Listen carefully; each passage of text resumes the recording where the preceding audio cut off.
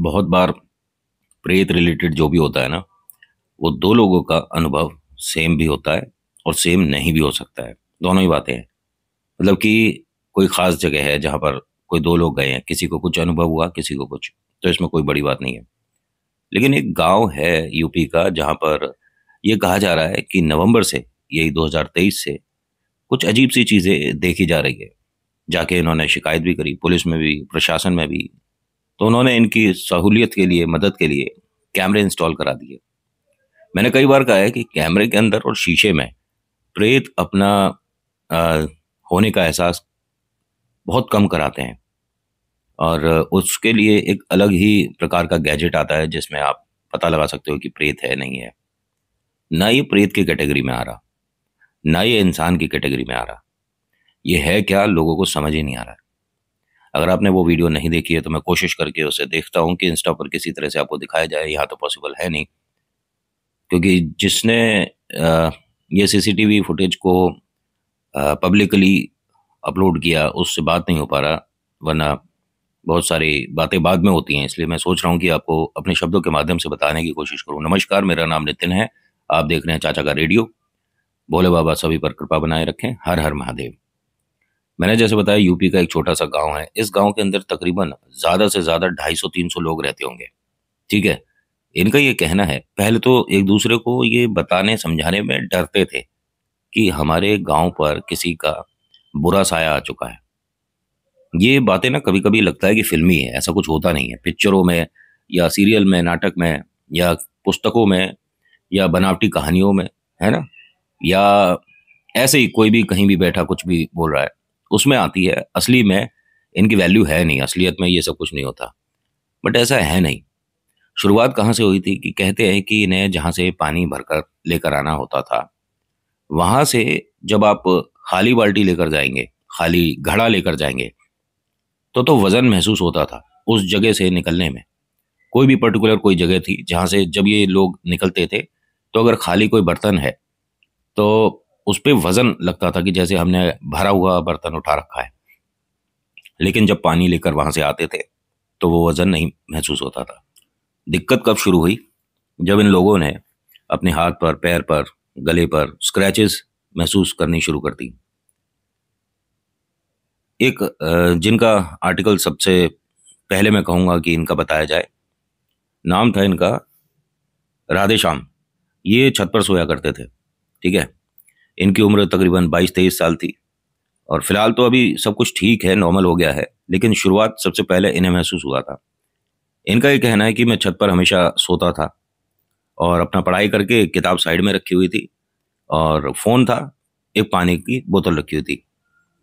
जब ये लेटा तो कहता है कि मेरे छत के कोने में मैंने एक आदमी को देखा जो कि सफ़ेद शॉल पहने बैठा हुआ है।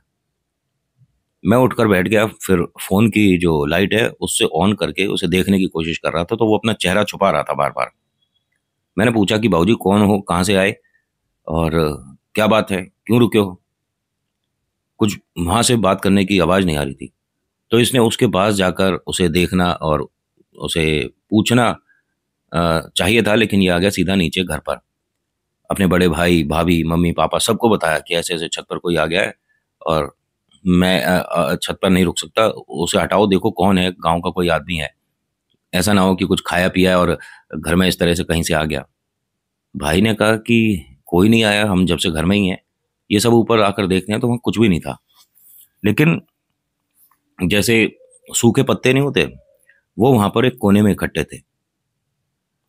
भाई ने पूछा अपनी माता जी से कि ये छत की सफ़ाई करके आपने कोने में करे हैं ये पत्ते? माँ ने कहा कि हमारे घर कोई पेड़ नहीं लग रहा। हमारे कहाँ से पत्ते आ जाएँगे? नहीं, ये सूखे पत्ते जो हैं, फिर ये कहाँ पर ऐसे कैसे आए हैं? किसी को समझ नहीं आई ये बात? भाई ने उन सभी पत्तों को उठाया, एक, किसी बैग वगैरह में करके, पॉलीथीन या प्लास्टिक का जो भी था उनके पास, उसमें करके कि अब मैं इसे सुबह जब होगी बाहर फेंक दूँगा, और उससे कहा कि सर्दियों में भी छत पर मूर्ख हैं जो सोते हैं। तू क्यों सोता है छत पर? नीचे चल। उसने कहा, भैया, नीचे मुझे नींद नहीं आती है। माँ और पिता ने कहा कि भाई, इसकी अब आदत सी बन गई है और देर रात तक पढ़ता है, सुबह चार पाँच बजे उठ के काम पर चल देता है, अपना खेत वगैरह देखता है। तो क्या कहें इसे? तो बहुत बार समझा लिया। लेकिन आज सभी लोग थोड़े से इससे नाराज़ हो गए कि अब से तू छत पर नहीं सोएगा। रात में, सर्दियों में ऐसा ना हो किसी दिन तू हांडी देख ले और ये लोग मानते हैं, आप और हम नहीं माने, वो अलग बात है। ये लोग आज भी मानते हैं कि ये शक्तियाँ आपके हमारे बीच हैं। ये अब उनकी सभी की बातें मानकर नीचे आ गया। इसे नीचे भी कुछ अजीब सी बेचैनी होती रही मतलब कि कोई मेरे आसपास घूम रहा है।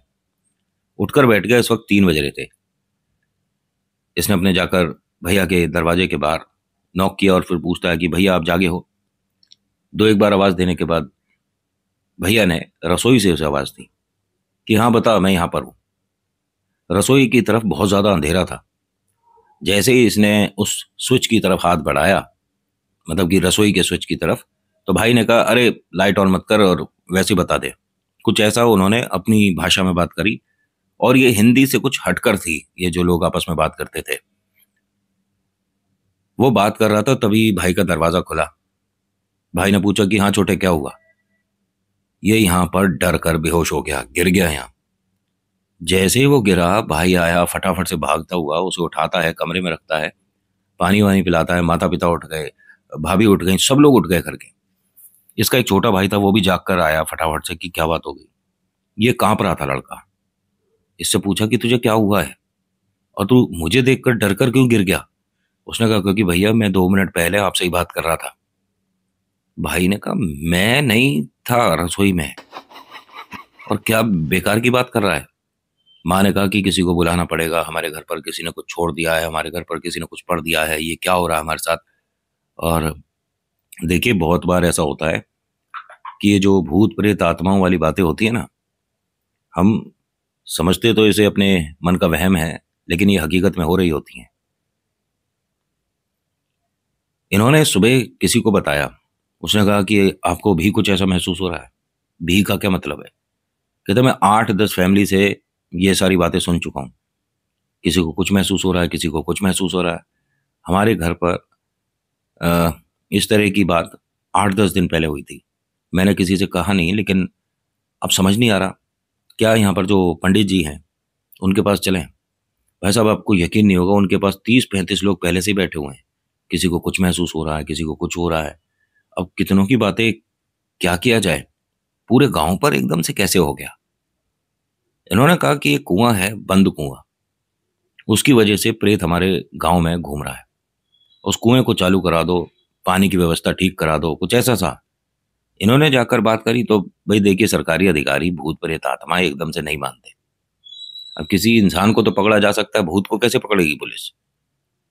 इन सबने दो एक बार कहा तो अरे, मन का वहम है पढ़े लिखे लोग नहीं है और ये नहीं, वो नहीं जबकि ये लोग पढ़े लिखों से ज़्यादा नॉलेज रखते हैं।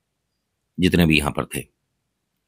बहुत ज़्यादा बार लोगों के साथ जब कुछ अजीब घटनाएँ घटने लग गई चलते फटते किसी को पीछे से किसी ने ऐसा लगा कि धक्का दिया है, पलट कर देख रहा तो कोई नहीं है तो कहा गया कि यहाँ पर कैमरे लगवाए जाएँगे। कैमरे इंस्टॉल हुए। अब उसे जब चेक किया गया तो हाँ कोई एक आदमी की शक्ल में दिखता है। उसके कपड़े पहनने के तरीके से तो जैसे हम इंसान होते हैं, ऐसा लगता है। लेकिन वो एकदम चलते चलते कैमरे में ही लोगों ने देखा है। उसके बाद से मन में डर बैठ गया और अब इसका कोई सोल्यूशन हुआ नहीं है। अभी भी कोई भी नॉर्मल नहीं है ये गाँव अभी। इनके मन में डर है सभी के। अपनी अपनी रक्षा सुरक्षा किसी न किसी माध्यम से, किसी न किसी तरीके से कर रहे हैं। कोई पूजा पाठ कर रहा है, कोई कुछ कर रहा है, कोई कुछ कर रहा है। लेकिन उसे जिस तरह से वो चलता हुआ दिखता है, इंसान जैसा ही लगता है वो। लेकिन वो एकदम जैसे पेट्स वगैरह चलते हैं ना जानवर उस तरह से चलकर ज़मीन पर कुछ सूंघता हुआ चलने लगता है। और जब भी किसी भी पेड़ के आसपास उसे देखा गया है तो ऐसा लगता है कि वो जैसे पेड़ के पास में नाक लगा के इस तरह से ज़मीन पर आ, कुछ कर रहा है क्या कर रहा है समझ नहीं आता। इस गाँव के जितने भी इन्होंने पाँच छह कैमरे लगवाए हैं उन सभी में उसे एक आध बार देखा जा चुका है। पूरे गाँव का नक्शा पता है इसे।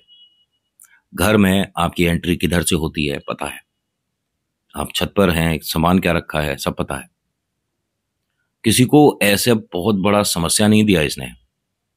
लेकिन अपने होने का एहसास करा रहा है लगातार। यहाँ के जो बच्चे हैं, पहले देर रात तक, सात बजे तक खेल लिया करते थे बाहर। लेकिन अब माता पिता का ये कहना है, जब तक हमारी आँखों के सामने रहोगे, तब तक खेलोगे, हम घर में आए, तुम घर में अंदर। आठ दस फैमिली हैं जिन्होंने यहाँ से शिफ्ट कर दिया। हम नहीं रुक सकते।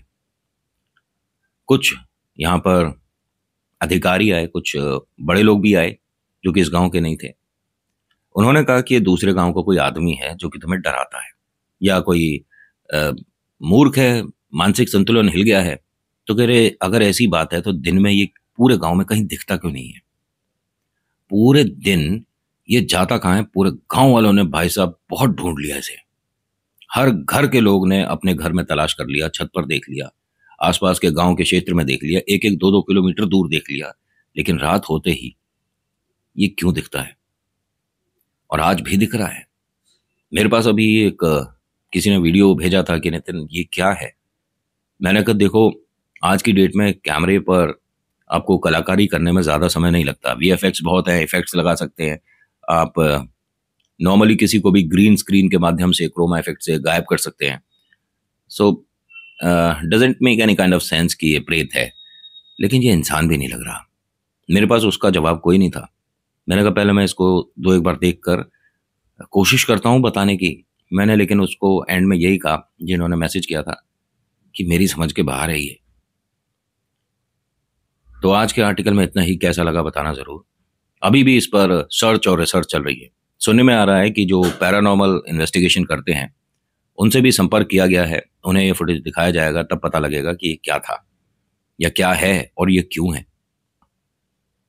अपने गाँव से इसे बाहर कैसे कर सकते हैं, मुक्ति कैसे मिलेगी? खैर, जैसे उस पर कोई काम होगा I let you know soon बताऊँगा मैं आपको। तो आज की वीडियो में इतना ही। आज की वीडियो आपको कैसी लगी बताना ज़रूर अच्छी लगी तो प्लीज़ लाइक करिए शेयर करिए कमेंट में लिखिएगा, जय वीर बालाजी महाराज, आपका नाम आपकी जगह हर बार कहता हूँ किसी भी बात पर यकीन करने से पहले एक बात पर यकीन करो कि ईश्वर चमत्कार करते हैं और कोई नहीं। So thank you so much for watching मेरा नाम नितिन है। मुलाकात करूँगा आपसे एक अगली वीडियो में। हर हर महादेव। जय भोलेनाथ। धन्यवाद।